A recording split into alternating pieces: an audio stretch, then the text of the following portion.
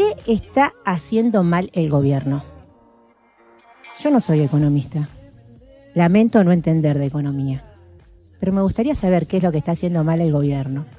Y estamos en línea con quien fuera secretario de Comercio Interior de la presidencia de Néstor, el economista y empresario Guillermo Moreno. Muy buenas tardes, Guillermo. Gracias por haber aceptado la invitación. Fabiana Álvarez te saluda. ¿Qué tal, Fabiana? Un placer hablar contigo. Que tengas buen fin de semana. ¿eh? Muchas gracias y el placer es todo mío, ¿eh? porque hacía rato, ya venía hace un par de semanas intentando concretar la entrevista eh, y bueno, se entiende que por ahí no soy la única periodista que quiere una entrevista, es, un tema eso. Guillermo, ¿qué estamos haciendo mal? nosotros no. ¿Qué está haciendo mal el ministro de Economía? ¿Por qué el tema de la inflación parece que es eh, una cuestión irresuelta? Mira, el primer tema que están haciendo mal es que gastan más de lo que recaudan y lo que deberían, como hicimos en la década ganada, es recaudar más de lo que se gasta. No hay, no hay alternativa al respecto.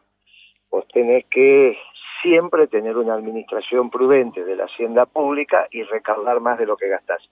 Esto no necesariamente implica ajustar el gasto, achicar el gasto, sino que podés generar instrumentos para incrementar la recaudación, cosa que el gobierno no hace. Eh, lo segundo que tenés que hacer es venderle al mundo más de lo que compras, porque estás endeudado en dólares y obviamente la recaudación es en pesos. De algún lado tienen que salir los dólares y los dólares salen del comercio de bienes y servicios de la Argentina versus el resto del mundo, con lo cual vos le tenés que vender más bienes y servicios que lo que compras, cosa que en los últimos tres meses no ha acontecido. Está bien, al menos tres meses estamos hablando de estadística, junio, julio y agosto, seguramente septiembre, con el mamarracho que hicieron con el dólar soja, en términos de balanza comercial, lo deben haber resuelto, pero han generado un lío bárbaro en la economía. De hecho, ese mamarracho que hicieron le generó una tarjeta amarilla del Fondo Monetario, ¿no? Eh, y después que resolviste eso, que es lo estructural, tenés que empezar a trabajar. Recién ahí empezás a trabajar. Y la manera de trabajar es haciendo costos. Por ejemplo, eh, te quieren aumentar la luz, pero nadie te dice cuánto cuesta. No sabes si está, ¿cómo sabes vos si está barato o está caro? En función del costo. Porque cuando vos haces el costo y lo comparás con el precio de venta, eh, tenés claro el margen de ganancias, o al menos el margen eh, que marcan desde el costo hasta el precio de venta, después obviamente tienen sus, sus gastos. Pero lo, es obvio que ahí es donde vos te das cuenta. Si vos no haces costos, no tenés claro qué es lo que está pasando con los precios. Casualmente, para no tener claro lo que pasaba con los precios, es que Caballo disolvió la Secretaría de Comercio. ¿Cuándo la disolvió? En el año 95. ¿Cuándo recreé yo la Secretaría de Comercio? En el año 2006. ¿Qué es lo primero que hicimos? Bueno, una estructura de costos. Lo primero que hicimos fue calcular el costo del kilo vivo de carne bovina porque vos si tenés que calcular el costo de la carne, tenés que arrancar por el costo del ganadero. Por lo tanto, llegás al kilo vivo, que hacía décadas que en la Argentina no se hacía. Bueno, nosotros hicimos el costo del kilo vivo. ¿Cuánto le cuesta a un ganadero hacer un kilo de carne? Si yo te digo a vos cuánto le cuesta a un ganadero hacer un kilo de carne, no tenés la mínima idea. Y la pregunta es por qué si estamos en Santa Fe, que es una provincia productora, donde el costo del kilo vivo tendría que ser parte de las conversaciones.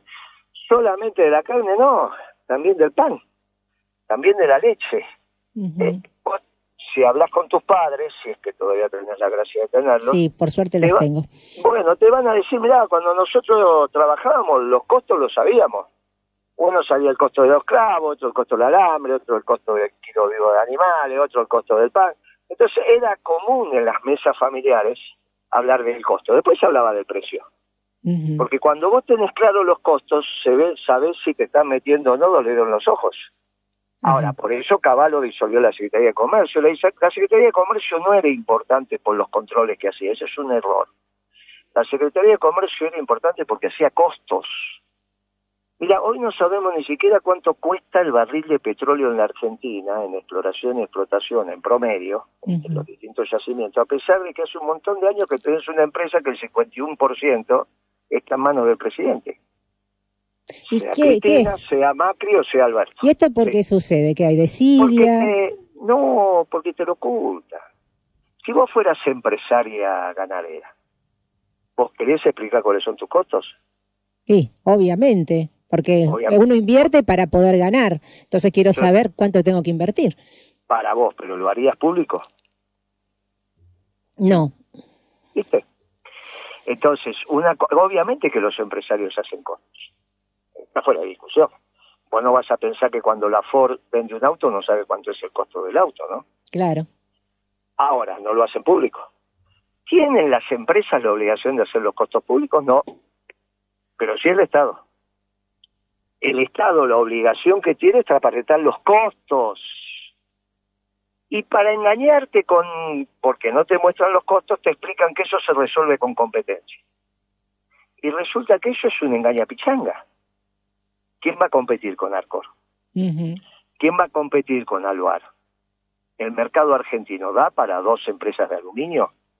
Entonces vienen los otros muchachos y te dicen, mira, como no da para dos empresas de aluminio, abramos la importación. Y ahí destruimos Aluar. Y la única empresa de aluminio que teníamos la perdimos, como pasó muchas veces que abrimos la economía. Finalmente, esto es sentido común. Como la economía argentina es una, economía razonablemente pequeña en el mundo, depende con quién la compare, estoy comparando con los grandes, no te da para tener dos techín dos fábricas de caños sin costura, dos fábricas de laminado, dos fábricas, bueno, tampoco de aluminio. ¿Cuántas Arcor podés tener en la Argentina? Y no podés tener muchas, el mercado no da. Entonces lo que vos tenés que hacer es hacer costos. Cuando vos haces costos, la conversación con el empresario es muy sencilla. Mira, Pagani, dueño de Arcor. Se te fue la mano en esta galletita, se te fue la mano en la polenta, se te fue la mano, o no, estás bien, y ahí ordenamos la cosa, pero siempre partiendo de que el gobierno tiene prolija su cuenta. Por eso empecé diciéndote, primero tenés que gastar menos de lo que recaudás y después venderle al mundo más de lo que compras. Cuando vos tenés estos dos temas, te pones a hacer costos y vas a ver cómo todo se prolija. Ahora, los progresistas como Alberto Fernández, como Kisilov, o los neoliberales, como era segunda etapa del gobierno de Macri, cuando vino el fondo, no les gusta hacer costos. Y obviamente la primera etapa de Macri menos que menos, porque ahí es cuando se metió con el precio de la comida y ellos querían ocultar el costo para que vos no sepas lo que ganan. Cuando vos haces costos, esta tontería, ¿no? Que están los, los formadores de precios, los hegemónicos, imagínate una conversación de vos con Coto Alfredo Coto, el dueño de Coto, que ahí en tu ciudad está. Ese Coto, ¿a cuánto compra la leche? ¿A cuánto te la vende la Serenísima? O Sanco, o el que fuere. A tanto, acá tenés la factura, hacemos lo descuento por caja y lo descuento por cantidad. Listo, esto es lo que pagaste. Comparas el recibo contra la factura y ahí te das cuenta de todos los, los, descuentos que te hicieron. Ves la cantidad que compró, sacas el precio por sachet. Después ves lo que lo vende en la, en la góndola y tenés el margen. No es el misterio de las siete llaves, ¿está bien? Es simplemente que tengas ganas de hacerlo y tengas los equipos técnicos para hacerlo. Porque en los costos, en el caso de comprar y vender, es más sencillo que en los costos de una manufactura, porque ahí entran los costos de amortización y demás. Y eso ya es complejo. Pero no lo tenés por qué saber vos que sos periodista, pero sí los profesionales del tema. Bueno, para eso está la Secretaría de Comercio. No le, no le vas a pedir a Macri que lo haga, pero tampoco a Alberto, porque no le gusta eso. Alberto, ¿cuál es el pensamiento de Alberto? Los precios en el mercado, los salarios en paritaria. Fíjate lo que dice Alberto, los precios en el mercado, ¿no? Los costos. Fíjate el libro que hizo Costas, el muchacho que me reemplazó a mí en la Secretaría de Comercio. Hizo, un libro que se llama Todos los precios son políticos. ¿Te acordás? No lo leí, así que no le voy a mentir. Tampoco. No, yo tampoco. No, no, pero ¿te acordás del libro o no te acordás? No, la verdad que ni, ni ahí. Él hizo un libro que haciendo un parangón con, lo, con la canción de los redonditos que dice todos los presos son políticos, ¿te acordás? Bueno, él hizo todos los precios son políticos. Es hermano derecha de Kisilov. Pero no te habla de los costos, te habla de los precios. Bueno, el tema es que si no les importan eh, los costos, efectivamente los precios son políticos. Bueno, si no te hablan de los costos, nunca sabes si los precios también no están mal. Claro, pero porque no les importa, digamos. O sea, siguiendo tu razonamiento, me doy cuenta que si no, me, no me ocupo del costo es porque voy a, cobrar lo que se me dé la ah, gana.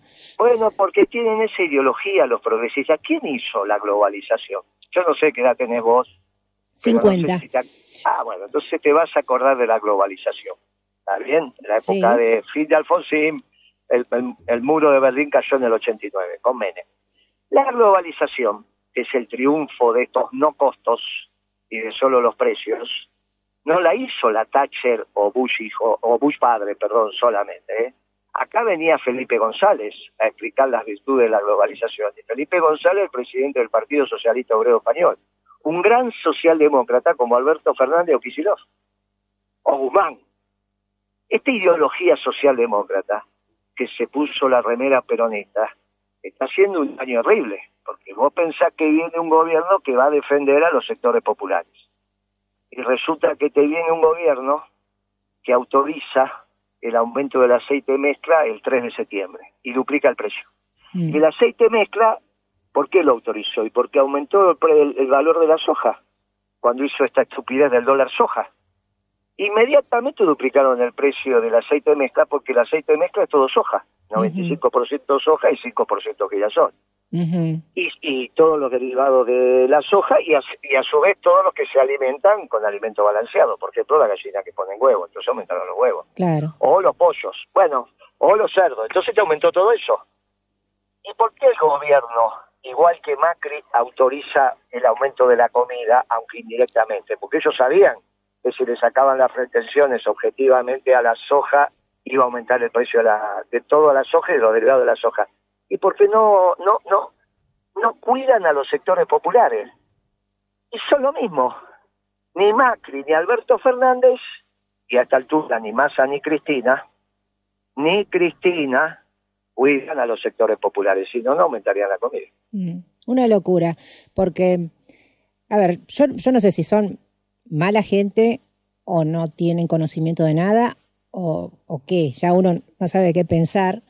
Eh, pero lo cierto es que se aceleró la inflación, que no sé qué va a pasar a fin de año, porque incluso uno tiene la sensación, este, una sensación así como enrarecida, ¿no? De me siguen aumentando, consumo menos o consumo de otra calidad. Eh, y, realmente, ¿hasta cuándo se puede llegar a estirar esta soga? Bueno, esto es lo que está en discusión, porque estás hablando de la gobernabilidad del sistema, hasta dónde aguanta el pueblo. Y sí, ¿hasta cuándo? Porque encima también tenemos un gran problema de seguridad. aguanta que le aprieten el, cinturón eso. Acá, por ejemplo, en Santa Fe, yo soy de la ciudad de San Lorenzo, muy, muy cerquita de, Rosario, que Rosario está incendiada en materia de, inseguridad y ya está eh, viniendo esa violencia también para, para San Lorenzo, lamentablemente. Se ven venir los problemas, pero nadie con capacidad para, para detenerlos y solucionarlos. Al contrario, es como que se vienen agravando. Entonces nosotros acá padecemos la inflación, la inseguridad y hasta hace poco hasta falta de educación por los paros docentes. Está todo mal. Todo mal. Y una suerte de desánimo. Acá voy a hablar desde lo personal, ¿no? Yo es como, yo digo, pará, ¿cómo salimos de esto? Bueno, con un gobierno peronista no hay alternativa, que no es este, obviamente, este no es peronista. Ningún gobierno peronista viene a hablar al pueblo. Estos son socialdemócratas. Mira, los únicos que no fracasamos en este siglo somos los peronistas. Después podés decir otra cosa, que esto, que aquello. Pero vos con el gobierno peronista comías un asado el fin de semana, tenías que sacar un crédito ni pagabas la carne con la tarjeta de crédito, ¿no? Bueno, esto es lo que te está pasando. Por eso me decís cómo se soluciona esto con un gobierno peronista. Es tan difícil hablar de peronismo realmente. Yo no tengo partido, ¿eh? voy, a, voy a aclarar. Es esto. Bueno, sé más, no sabes lo que te perdés por no ser peronista. lo que pasa es que yo no puedo ser peronista acá en mi ciudad. No tengo ningún referente como la gente. Y bueno, Eh. empezará, empezará vos a ser referente, ¿cuál es el problema? En el Ah. peronismo le damos el bastón de mando a, a todos los que así lo planteen, pero, Pero eso dijo. Sería, es el cumpleaños de Perón. sería un cachetazo al peronismo, porque si una persona que no es peronista arregla el peronismo, pues realmente no hay, no hay un No, pero referente. si vos arreglás el peronismo, sos peronista. Vos no sos peronista porque no te lo explicaron. Es como la economía. Si yo no soy economista, ni bien te lo explican, lo entendés. No, la verdad que la explicación que, que me, que me diste recién me quedó re clara. Bueno, Eh, imagínate cuando te expliquen docente. el peronismo. Bueno, te voy a... Es que no tuviste nadie al lado que te explicó el peronismo. Bueno, eso ya es un tema. pero Bueno, eh, Guillermo, no tengo más tiempo, pero me gustaría que me expliques el, el peronismo. con ¿Te todo puedo, gusto. te puedo llamar? San Lorenzo, un día voy a San Lorenzo y te lo explico. No hay ningún inconveniente. Si Ah, no, me ve- llama todas las veces que quieras. Bueno, bueno, si, si tenés previsto un, un viaje, Eh, coincidimos. siempre estábamos, vos sabés que eso era del Rosario, San Lorenzo era la cuna del peronismo, sobre todo el Rosario. Bueno, Pero bueno, bueno, está conmigo todas las veces. La próxima charla que tenemos empezamos a hablar de Perón. exacto, Hoy porque ya, hoy ya, hoy ya agotamos el tema económico, al menos de la inflación. y por Y lo menos entendiste. yo hoy sé más que hace una horita atrás, así que te Y agradezco. Ya vas a ver lo que es, ya vas a saber, saber lo que es. Porque el peronismo enamora, esa es la ventaja. La próxima vez eh, eh, ah, discutimos, reflexionamos sobre el peronismo. Vas a ver que de a poquito te empezás a enamorar del peronismo, después sos la referente y solucionar los problemas del peronismo en San Lorenzo. Uh, Te mando un beso grande, gracias por tu tiempo. gracias, un abrazo. Chao, querida. Todos los sábados, de 16 a 19 horas, sin privilegios. Conduce Fabiana Álvarez.